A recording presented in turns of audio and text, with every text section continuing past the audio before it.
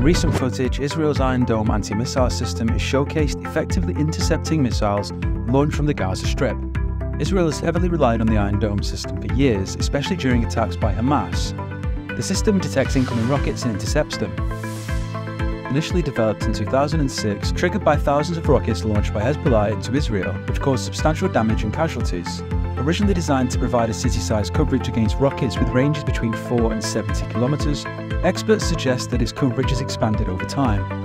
The Iron Dome employs radar to detect incoming rockets, assessing their speed and direction. The control centre then determines whether the rocket poses a threat to Israeli towns. If the rocket is deemed non-threatening, it is allowed to land in empty fields. If the rockets are considered a threat, however, the missile firing unit launches interceptor missiles to shoot them down, with each launcher containing 20 interceptor missiles. Israel's military claims a success rate of up to 90% for the Iron Dome. The evolving capabilities of such defence system raises interesting questions.